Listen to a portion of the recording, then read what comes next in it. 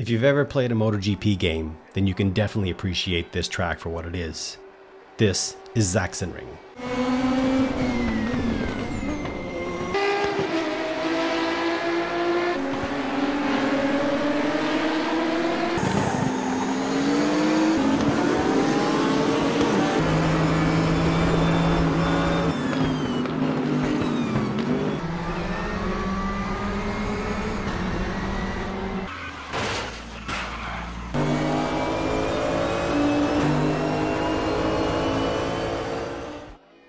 Riding any racecraft and you're on the edge of grip from one corner to the next, the tires are screaming to hold on.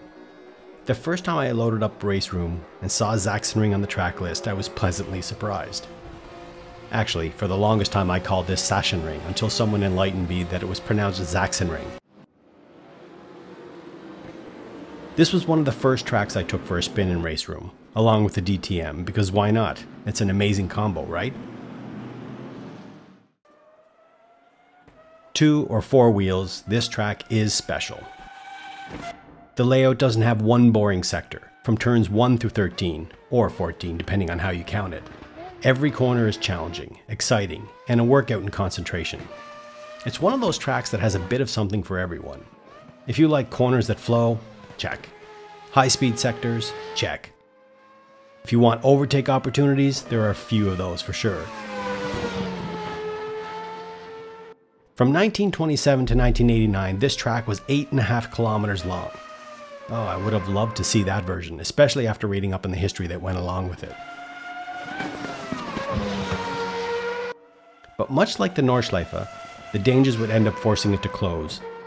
Until 1996 when the 3.5 kilometer circuit was born. A few modifications here and there, a touch of the Tilke, love it or hate it, and the modern day circuit has now become the annual host of both MotoGP and the ADAC GT Master Series.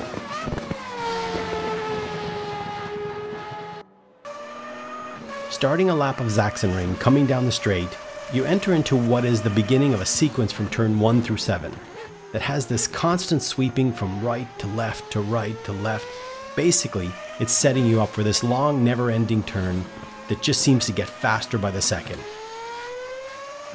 and throw in a blind turn just before hitting one of my favorite parts of the circuit the awesome downhill section of turn 12. Just take a DTM, try hitting the DRS right before the turn, and tell me that's not a great but stressful feeling. And of course, working your way to my second favorite part of the circuit the final turn, Saxon Curve. It's a blind hill that's so easy to spin out if you're overconfident, but it's always cool to watch those GP riders entering that turn wondering if they'll high side it up the hill, down the straight, and that's a lap of the Sachsenring. I love taking so many different cars on this circuit. The pro cars, the DTMs, GT3s, the formula cars, touring cars, you name it, it just works, and it's awesome. But why this circuit is not in every sim, I can't explain it. It should be though. Imagine what this track would be like in ACC dressed to the nines. But for now, I'm more than happy that Sector 3 chose to include this as part of their track list. So if you haven't tried this circuit, get out there and experience the coolness of the Sachsenring. Until next time, take care.